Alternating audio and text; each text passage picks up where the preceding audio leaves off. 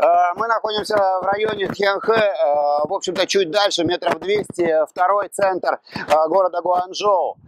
Это центральная улица, значит, Хуашутулу, которая пересекает практически весь город. Там Тхенхэчхэн, метров 200-300. Вот гостиница 4 звезды. Э, Значит, здесь метров 50, э, лицензионный э, отдел продажи Audi. Э, В общем-то, такой богатый район. Но я хочу рассказать вам о другом моменте. Э, Лет 7 назад я здесь встретил одну бабушку, которая э, китаянка, да, разумеется. Пойдемте за мной.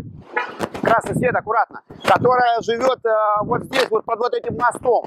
В общем-то, люди здесь снуют, вот 7 лет она живет, вот посмотрите, э, центральное такое местечко, да, вот бабушка здесь живет, здесь же спит.